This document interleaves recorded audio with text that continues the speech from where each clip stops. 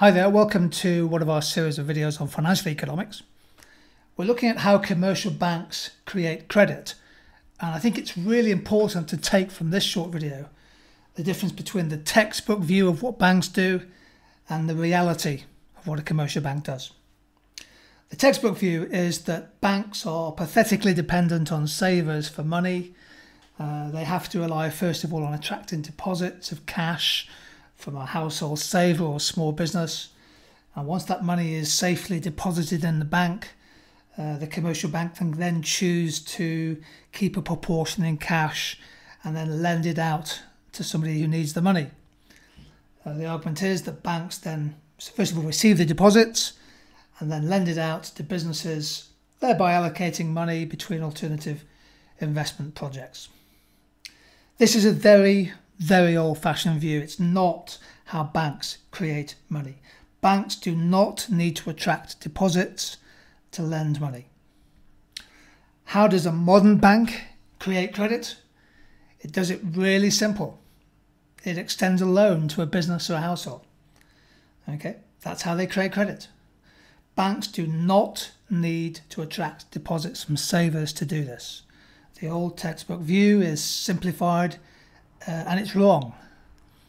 So, for example, when a bank such as HSBC or Barclays or, or Royal Bank of Scotland, when they make a loan, uh, maybe somebody's taking out a mortgage to buy a house, maybe a business is taking out a, a loan to finance expansion, for example. All the bank does is it simply credits their bank account with a new bank deposit of the size of the loan or the mortgage. As soon as that is done, new money, new credit is created. That is how banks create credit by giving out loans. Okay? Indeed, as the Bank of England says, banks making loans and customers repaying them are the most significant ways in which bank deposits are first created and destroyed in the modern economy. The key to understanding that banks are not necessarily wholly dependent on savers is to think about the commercial bank's balance sheet. On the left hand side, the assets, essentially money owed uh, to the bank or owned by the bank. Um, so when they extend a loan, they're creating an asset, and banks, of course, will hold other assets, including in liquid form. The liabilities are the key sources of funds for the banks to be able to engage in their profit seeking activities. So, yes, it's important for banks to attract retail savings deposits but they don't necessarily have to do that. There is a wholesale market, there's a wholesale funding market. So banks can borrow money from other institutions, including other commercial banks. And of course, crucially, banks can raise fresh equity through the issue, uh, through the issue or sale of shares if they want to increase their, their capital base. Now, it is the case in the UK that retail banks, uh, commercial banks such as Barclays, rely heavily on retail funding so they, they, they, they do rely on commercial deposits, but they don't need them necessarily to lend money out. Typically, the banks will offer a higher interest rate on the deposits that people put in a bank account um, than um, the longer that those deposits are there. So if you're prepared to save with a bank for a length of time, um, or put money on deposit rather than money on immediate sight withdrawal, you'll get a better rate of interest.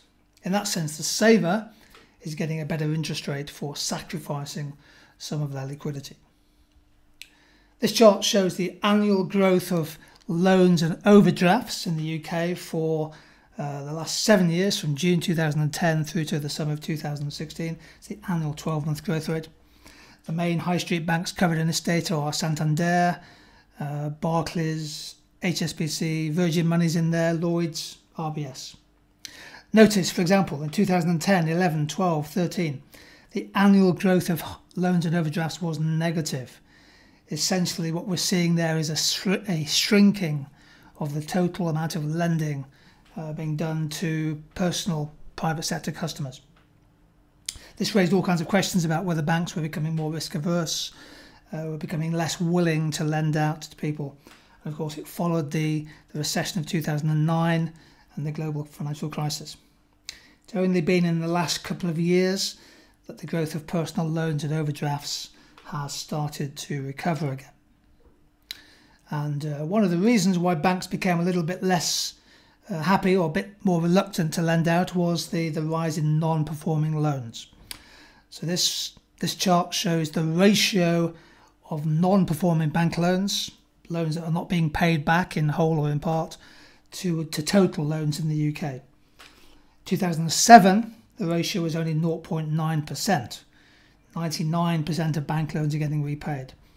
But following the beginning of the global recession in 2008, this uh, more than doubled to 1.6% and then to nearly 4% in 2010 and 2011. starting to fall back now as, as, sort of economic conditions return to a degree of normality.